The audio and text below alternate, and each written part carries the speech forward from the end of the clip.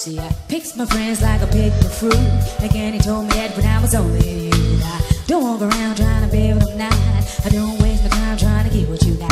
Working pleasing egos, I can't please you. And that's why I do what I do. My soul flash free like a willow tree.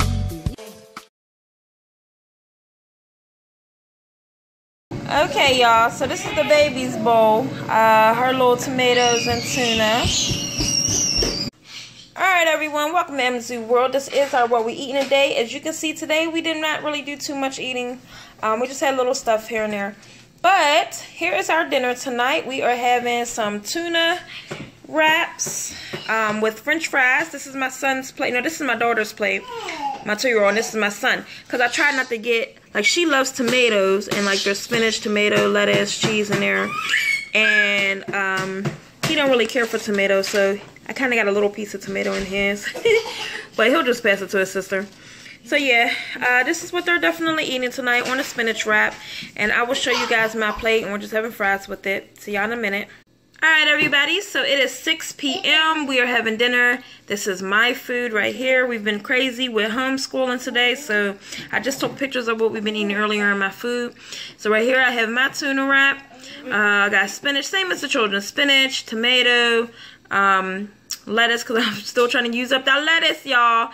Got some provolone cheese on there. That's on theirs as well. And you can see in the mixture, we got red onions and stuff in our, um, you know, in our tomato salad and whatnot on a spinach wrap. And then I got my fries here. So this is literally like my biggest meal today.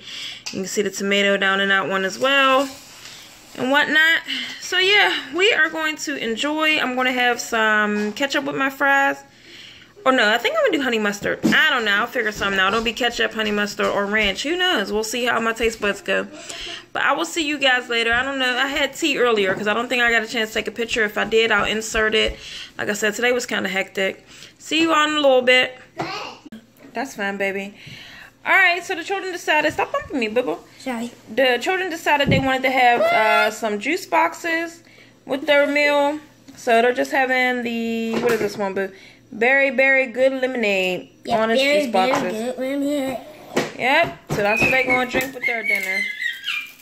Yeah, you can get in there, boo. You can have water and mommy milk. Alright, so here got my husband's plate. He just came home from work. He has the same tuna wrap with some fries. I just squeezed the ketchup on for him since his wrap took over the plate.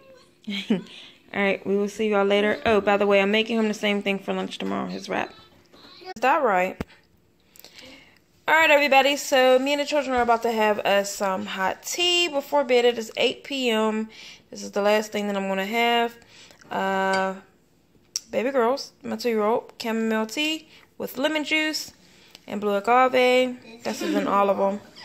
And chamomile tea for my son, my five-year-old, with blue agave with lemon juice. And then, of course, me. Uh, some tea with lemon juice and some blue agave. The usual. Alright, guys. So, we appreciate you all watching and joining us today. Thank you so much. We will see you all tomorrow. Much peace. Hmm. I'm